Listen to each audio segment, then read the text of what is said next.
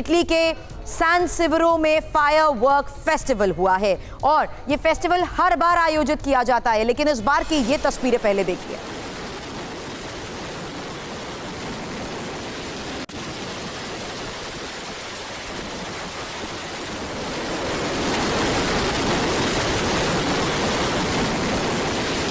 आयोजन था fire work festival का।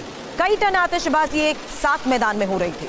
लोग आतिशबाजी के बीच खड़े नज़र थे, नज़र आ रहे थे, जश्न मना रहे थे, जिसकी तस्वीर सोशल मीडिया पर वायरल भी हुई। लेकिन ये तस्वीर देखिए, जहाँ आग के गोले के आगे लोगों की भीड़ ही भागती नज़र आई।